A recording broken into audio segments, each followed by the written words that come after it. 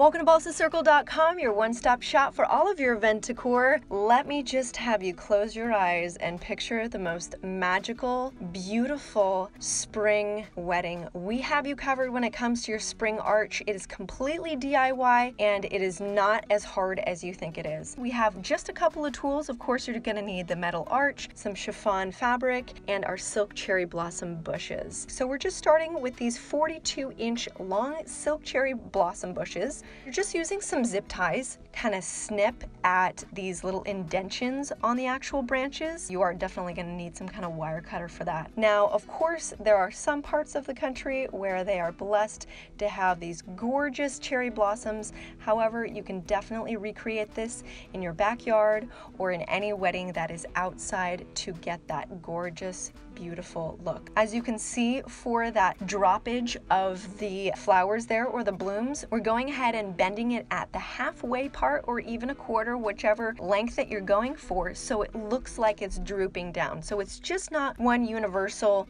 you know, fluff of silk cherry blossom bushes, but there is a little bit of kind of whimsical, natural look to it. So we're putting them on the all the edges of this beautiful arch that we have here Everything's in the description below. We do sell all of these, obviously not the zip tie. You can find that at your craft store, or even probably like at Home Depot. And here, just to get that kind of long, beautiful look of the flowers drooping down, we're using the zip ties and connecting it to another one that we hooked over the bar at the very top. So here, we're just gonna finish it off on the sides with our chiffon fabric bolt. This is in the color of white. It's 12 inches wide and 10 yards long.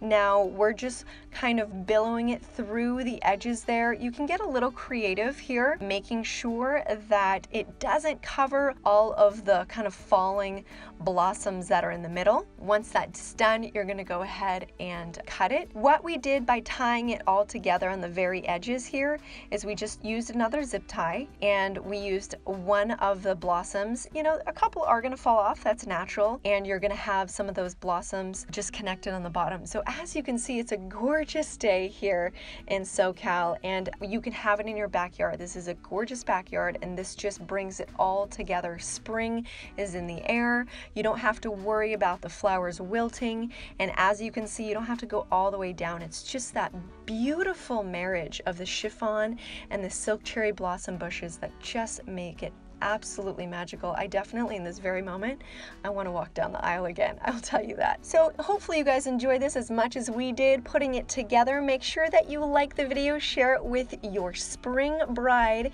and subscribe for all of your creative decor and event ideas. Until next time, stay creative.